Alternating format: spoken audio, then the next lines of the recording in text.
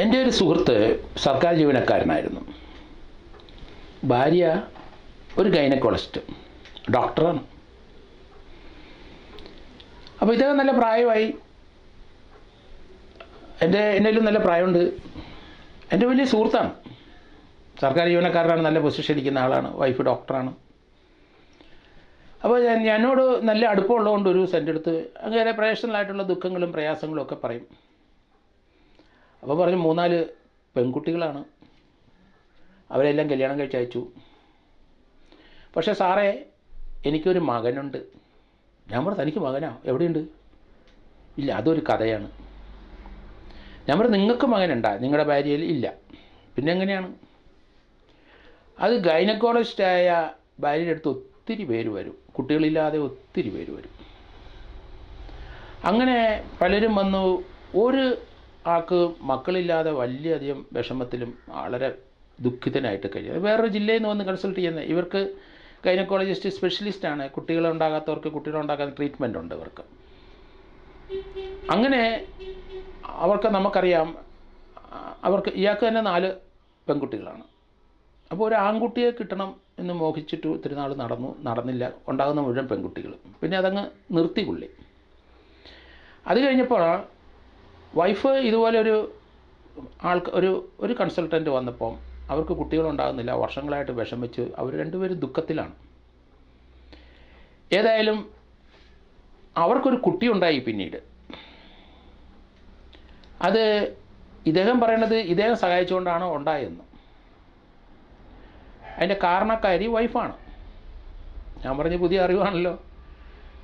ആ പയ്യനെ ഒന്ന് കാണണമെന്ന്. ഞാൻ പറഞ്ഞു എന്ത് ഇതൊക്കെ എന്താ പറയണത്?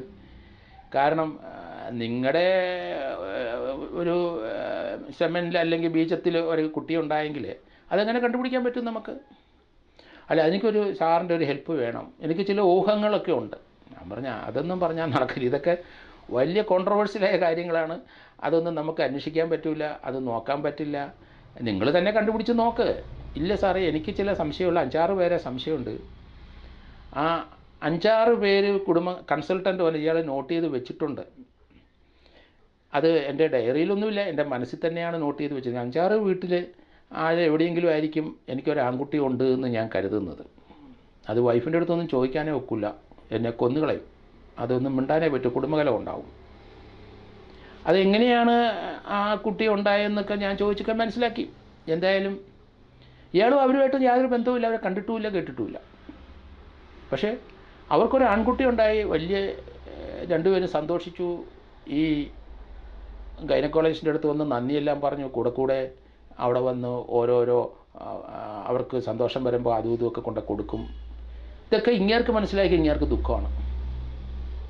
എനിക്ക് ആൺകുട്ടി ഇല്ല പക്ഷേ ഒരു ആൺകുട്ടി ഉണ്ടല്ലോ ഭൂമിയിൽ അതൊന്ന് കണ്ടുപിടിക്കുക സാറേ ഞാൻ പല പണിയും നോക്കി. ഒരു തരത്തിലും കണ്ടുപിടിക്കാൻ പറ്റില്ല എനിക്ക് അഞ്ചാറ് പേരെ സംശയമുണ്ട്. അത് എവിടെയൊക്കെ ഓരോ ജില്ല പല ജില്ലകളിലുള്ളവരാണ്. അത് സാറെന്നെ ഒന്ന് സഹായിക്കണം. എനിക്ക് ചിരിയും വന്നു. പുള്ളിയുടെ ദുഃഖവും വിഷമവും മുഖഭാവവും ഒക്കെ കണ്ടു കഴിഞ്ഞപ്പോൾ ഞാൻ എന്ത് ചെയ്യാനൊക്കും? ഇതൊക്കെ ജീവിതത്തിലെ ചില രഹസ്യങ്ങളായ സംഭവങ്ങളാണ് അതിനൊന്നും ഒരു പരിഹാരമില്ല സാറേ. അതങ്ങ് വിട്ടുകളാണ് ആ കുട്ടി എവിടെയെങ്കിലും ജീവിച്ചോട്ടെ. സാറേ മരിക്കുന്നതിന് മുമ്പ് എന്റെ മകനല്ലേ? എനിക്കൊന്ന് കാണാനൊരാഗ്രഹമില്ല. ഞാൻ പറഞ്ഞു കാണണ്ട നിങ്ങൾ അത് എന്തായാലും നിങ്ങളുടെ ഒരു ഊഹമായിരിക്കും അത്. ഇല്ല ഊഹമല്ല. അതൊക്കെ ഞാൻ സൂത്രത്തെ സൂത്തി പല പ്രാവശ്യം കൊണ്ട് വൈഫിന്റെ അടുത്തൊക്കെ ചോദിച്ചൊക്കെ മനസ്സിലാക്കി. കുട്ടി ജനിച്ചു. ആൺകുട്ടിയാണെന്നറിയാം അതിലപ്പുറം ഒന്നും വൈഫ് പറയില്ല. അവരുടെ പ്രൊഫഷണൽ എറ്റിക്കറ്റാണത് എന്തായാലും ഞാൻ പറഞ്ഞു നമുക്ക് നോക്കാം. ഇങ്ങനെ സമാധാനപ്പെടുത്താൻ കാരണം മിക്കവാറും വന്നിട്ട് ഇത് തന്നെ എടുത്തിടും. അപ്പോൾ ഞാൻ പറഞ്ഞു നമുക്കത് നോക്കാം. ഏത് ജില്ലയാണെന്ന് നോക്ക്. ഏതായാലും ഞാൻ പല സ്ഥലത്തും അതിലേക്ക് സഞ്ചരിക്കാൻ നമുക്ക് നോക്കാം. അങ്ങനെ തൃശ്ശൂർ ജില്ലയിലാണ് എന്ന് പറഞ്ഞ് മൂന്നാൽ ജില്ലയിലൊക്കെ പറഞ്ഞു. ഞാൻ അവിടെയൊക്കെ നോക്കിയിട്ട് എനിക്കൊന്നും ലൊക്കേറ്റ് ചെയ്യാൻ പറ്റിയില്ല. എങ്കിലും ഒരു- തൃശ്ശൂർ ജില്ലയിൽ ഞാൻ പറഞ്ഞു നോക്കാം നിങ്ങൾ കിട്ടിയ വിവരമൊക്കെ വെച്ച് കുറച്ച് നാളത്തെ അന്വേഷണത്തിൽ പല പ്രാവശ്യം ഇൻവെസ്റ്റിഗേഷനൊക്കെ പല കേസിനും പല സ്ഥലത്തും പോകും. അങ്ങനെയൊക്കെ ഞാൻ ഇതൊക്കെ ഓർത്ത് അങ്ങനെ വിളിച്ചു പറഞ്ഞു ഒക്കെ ഞാൻ എനിക്ക് നോക്കി. അപ്പോൾ ഞാൻ ഉഴപ്പുന്നതാണോ എന്ന് പുള്ളിക്ക് സംശയം. ഞാൻ പറഞ്ഞു ഉഴപ്പൊന്നുമില്ല നോക്കാം നമുക്ക്. പക്ഷേ അത് വലിയ പ്രശ്നങ്ങൾ സൃഷ്ടിക്കും. അങ്ങനെ ഒരു സ്ഥലം ഞാൻ കണ്ടെത്തിയാൽ ചിലപ്പോൾ ഞാൻ കണ്ടെത്തിയെന്ന് വരും. നിങ്ങളവിടെ പോയി കൊച്ചിനെ കാണാൻ പോകും ആ കുടുംബം അതെങ്ങനെയാണ് നമുക്കറിയത്തില്ല. അവിടെ ശിഥിലമാകും. നിങ്ങളുടെ കുടുംബം ശിഥിലമാകും. എല്ലാം പ്രശ്നമാകും. ഒന്നിന് പറയോ ഒന്നിന് പ്രശ്നങ്ങൾ ഒത്തിരി ഉണ്ടാകും. നിങ്ങൾ വിചാരിക്കുന്ന പോലെ ഒന്നുമല്ല അതിന്റെ റിയാക്ഷൻ വരുന്നത്.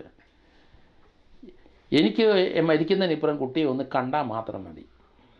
കാരണം ആൺകുട്ടി ഉണ്ടാകണമെന്ന് വലിയ ആഗ്രഹിച്ചിരുന്ന മനുഷ്യനാണ്. ഉണ്ടായത് മുഴുവൻ പെൺകുട്ടികൾ രണ്ട് കുട്ടി കഴിഞ്ഞിട്ട് വീണ്ടും നോക്കിയപ്പോൾ മൂന്നാമതും നാലാമത്തെയും കുട്ടി പെൺകുട്ടിയാണ്. എന്തായാലും ഈ മനുഷ്യന്റെ വ്യഥയും ദുഃഖവും പ്രയാസവും ഒക്കെ ഞാൻ കണ്ടുകൊണ്ടിരിക്കുകയാണ്. ഞാൻ പറഞ്ഞ ഏതായാലും ഞാൻ നോക്കട്ടെ നോക്കാം. നിങ്ങൾ പറഞ്ഞ സ്ഥലങ്ങളൊക്കെ പോയി ഞാൻ അന്വേഷിക്കാം. ഞാൻ പോകുന്ന വഴിക്കൊക്കെ അന്വേഷിച്ച് നോക്കാം. അങ്ങനെ ഞാൻ ആ സ്ഥലം ഏകദേശം പുള്ളി പറഞ്ഞ സ്ഥലത്തൊക്കെ പോയി. ഞാൻ പറഞ്ഞു ഞാൻ പോകുന്ന സ്ഥലത്ത് നോക്കട്ടെ നിങ്ങളോട് ഞാൻ ലൊക്കേറ്റ് ചെയ്യും നോക്കാം. നിങ്ങളെ ഞാൻ കാണിക്കില്ല കാരണം അത് കാണിക്കാൻ ബുദ്ധിമുട്ടാണ്. കാരണം അത് വലിയ പ്രശ്നങ്ങൾ സൃഷ്ടിക്കും. പിന്നെ ഞാൻ അതിന്റെ അകത്ത് കരുവാവും. അതൊന്നും വേണ്ട. ഞാൻ നോക്കാം. നിങ്ങൾ പറയുന്ന കാര്യത്തിൽ സത്യമുണ്ടോ എന്ന് പറഞ്ഞ് നോക്കാം. എന്തായാലും പുള്ളി പറഞ്ഞ സ്ഥലത്ത് ഞാൻ പോയി ആ സ്ഥലങ്ങളൊക്കെ കണ്ടു. ഏതായാലും ഇയാളെപ്പോലൊരു മനുഷ്യനോട് ഉണ്ടോ എന്ന് ഞാൻ നോക്കിയപ്പോൾ ഏകദേശം വരുന്ന ഒരു മനുഷ്യനെ കണ്ട്. അയാൾക്ക് ഭാര്യയുണ്ട് രണ്ട് മക്കളുണ്ട്. ഏതായാലും അത് ഞാൻ പറഞ്ഞു ഞാൻ കണ്ടു എന്ന് ഞാൻ പറഞ്ഞില്ല. ഞാൻ പറഞ്ഞു പറഞ്ഞ ശരിയല്ല എന്ന് ഞാൻ പറഞ്ഞു അയാളോട്. പക്ഷെ ഞാൻ കണ്ടപ്പോൾ ഏകദേശം ഇങ്ങനെ ഡിറ്റോ ഒരാൾ അവിടെ ഉണ്ട്. അയാൾ ഭാര്യയുണ്ട് നല്ല രീതി ജീവിക്കുന്നതാണ് ഭാര്യയുണ്ട് രണ്ട് കുട്ടികളുണ്ട്. അയാൾക്ക് അറിഞ്ഞുകൂടാ ചിലപ്പം അയാളുടെ അപ്പനും അമ്മയും അടുത്തുണ്ടാവും. അയാൾക്ക് അറിഞ്ഞുകൂടാ അയാളുടെ പിതാവ് ആരാണെന്ന് ചിലപ്പോൾ അറിഞ്ഞുകൂടാ പക്ഷേ എന്റെ അടുത്ത് ഇയാൾ സാറേ കണ്ടുപിടിച്ചോ കണ്ടുപിടിച്ചോ? ഞാൻ പറഞ്ഞ ഇല്ല. ഞാൻ കണ്ടില്ല. പക്ഷേ നിങ്ങൾ വിചാരിക്കുന്ന സ്ഥലത്ത് അങ്ങനെ ഉണ്ടാകാൻ സാധ്യതയും വളരെ കുറവാണ്. ആരൊക്കെയാണ് ട്രീറ്റ്മെന്റ് വന്നത് നമുക്കറിയില്ലല്ലോ. അതിപ്പം നിങ്ങൾക്ക് ഒരു ഊഹം വെച്ച് പറയണതല്ലേ ഉള്ളൂ. അതങ്ങ് വിട്ടുകളാ സാറേ. നമുക്കത് വേണ്ട. ഏതായാലും ഞാൻ പോയപ്പം ഇയാളെ പോലെ ഡിറ്റോ ഒരു സാധനത്തിനെ അവിടെ കണ്ടു എന്നുള്ള കാര്യം സത്യമാണ്. ഞാൻ വളരെ ദിവസം ഇരുന്ന് ആലോചിച്ചു. കാരണം ഏകദേശം ഇദ്ദേഹത്തിനെ പോലെ തന്നെ ഒരാളെ ഞാൻ കണ്ടെത്തിയല്ലോ. അപ്പോൾ അതിന്റെ റിയാക്ഷൻ എങ്ങനെയായിരിക്കും? കാരണം പ്രൊഫഷണൽ എത്തിക്സ് ആണ് അദ്ദേഹത്തിന്റെ വൈഫിനുണ്ട് അവരത് ഡിസ്ക്ലോസ് ചെയ്യാൻ പാടില്ല അറിയാൻ പാടില്ല. അത് ഇങ്ങേരുടെ സ്വഭാവം വെച്ചിട്ട് തീർച്ചയായിട്ടും ഇങ്ങേരുടെ ഒരു അംബീഷനാണ് ജീവിതത്തിൽ ഒരു ആൺകുട്ടി ഉണ്ടാകണം ആൺകുട്ടിയെ കാണണം. അതുകൊണ്ടാണ് എന്നെപ്പോലെ ഒരാളുടെ പുറകെ നടന്നത്. അതൊരു പരാതിയായിട്ടല്ലേ എന്നെ കൂടെ കൂടെ കാണും ഇത് തന്നെ എടുത്തിടും. അയാളുടെ വളരെ ദുഃഖിതനാണ് അങ്ങേര്. മകനെ ഒന്ന് കാണണം. പക്ഷേ മകനെ എന്താ ഒന്ന് കണ്ടു എത്തിക്കഴിഞ്ഞാൽ സാമൂഹ്യമായി ഉണ്ടാകുന്ന പ്രശ്നങ്ങൾ വളരെയധികം വളരെ വൈകാരികമായ പ്രശ്നങ്ങളുണ്ടാവും.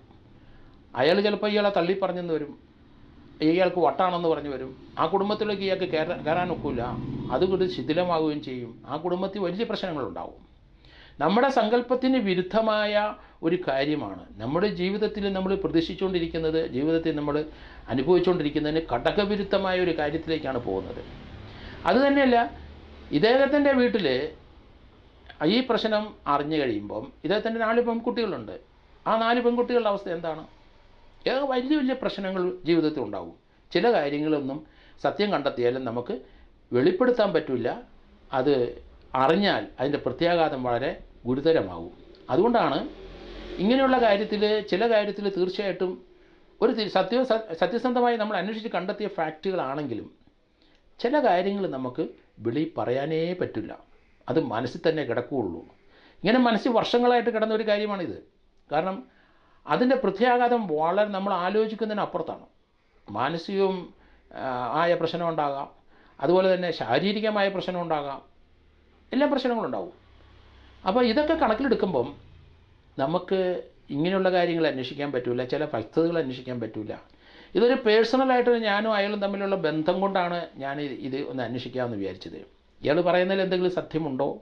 എന്നുള്ള ഒരു ഫാക്റ്റ് അന്വേഷിച്ചെന്ന് മാത്രമേ ഉള്ളൂ ഞാൻ അല്ലാതെ അദ്ദേഹത്തിനെ സഹായിക്കാൻ എന്റെ മനസ്സിൽ ഈ സബ്ജക്റ്റ് ഈ വിഷയം കേട്ടപ്പോഴേ ഇത് വളരെ സങ്കീർണമായ പ്രശ്നമാണ്. ഇതിനകത്തൊരു പരിഹാരമില്ല. പരിഹാരം ഉണ്ടാക്കാൻ സാധിച്ചേക്കും പക്ഷേ അത് പല കുടുംബങ്ങളും ശിഥിലമാകുന്നതാണ്. അപ്പോൾ അങ്ങനെയുള്ള പ്രവർത്തികൾ ഒരിക്കലും ചെയ്യാൻ പാടില്ല എന്നാണ് എന്റെ മനസ്സ് പറയുന്നത്. അതുകൊണ്ട് അദ്ദേഹത്തിന്റെ ഞാൻ പറഞ്ഞു ഞാൻ കണ്ടിട്ടേ ഇല്ല. പക്ഷേ നിങ്ങൾ പറഞ്ഞത് തെറ്റ്. നിങ്ങൾ വേറെ നോക്ക് വേറെ അന്വേഷിക്കുക കുറച്ചുകൂടെ നിങ്ങൾക്ക് വിവരങ്ങൾ ലഭിക്കുന്നുണ്ട്. അതുമായിട്ട് വാ നമുക്ക് നോക്കാം. അതേ പറയാൻ പറ്റുള്ളൂ ഇങ്ങനെയുള്ളിടത്ത്. കാരണം ഇത് നമ്മൾ ആ പറയുന്ന സ്ഥലത്ത് ഞാൻ കണ്ടെത്തി എന്ന് പറയുന്ന സ്ഥലത്ത് ഇങ്ങേര് പോയി ആ പ്രശ്നങ്ങളുണ്ടാവും. കാരണം ഇങ്ങേരുടെ മനസ്സിൽ കിടക്കുന്നത് എന്താണെന്ന് എനിക്കറിയാം. അതുകൊണ്ട് ഇയാളെ സ്വത്തുക്കൾ മുഴുവൻ അങ്ങോട്ട് ചിലപ്പോൾ ട്രാൻസ്ഫർ ചെയ്തൊന്നും വരും. മറ്റേ കുട്ടികൾക്കൊന്നും കിട്ടാതെ വരും. അങ്ങേരിപ്പം സ്വസ്ഥമായിട്ട് അവിടെ ജീവിക്കുകയാണ്. അങ്ങേർക്ക് പത്ത് നാൽപ്പത് വയസ്സുകൊണ്ട് ഭാര്യയുണ്ട് മക്കളുണ്ട്. അങ്ങേർക്കൊരു ഷോക്കിംഗ് ആണ് ഇതുപോലെയുള്ള സാമൂഹ്യമായ പല പ്രശ്നങ്ങൾക്ക് പരിഹാരമില്ലാത്ത പ്രശ്നങ്ങൾ തലപൊത്തി വരും തലപൊങ്കി വരും. അത് നമുക്ക് സഹിക്കാൻ പറ്റത്തില്ല അൺബെയറബിളാണ് ചിലപ്പോൾ മറ്റ് ചില സംഭവവികാസങ്ങൾ അതുമായിട്ട് ബന്ധപ്പെട്ടുണ്ടാവും. അതുകൊണ്ട് അതിലേക്ക് കടക്കണ്ടെന്ന് ഞാൻ തീരുമാനിച്ചു. വളരെ ആലോചിച്ചിട്ടാണ് തീരുമാനിച്ചത്. അതുകൊണ്ട് കൊണ്ട് എന്റെ അടുത്ത് വന്ന ആളുടെ അതേ ഡിറ്റോയിൽ ഒരാളെ ഞാൻ കണ്ടു എന്നുള്ള കാര്യം സത്യമാണ്.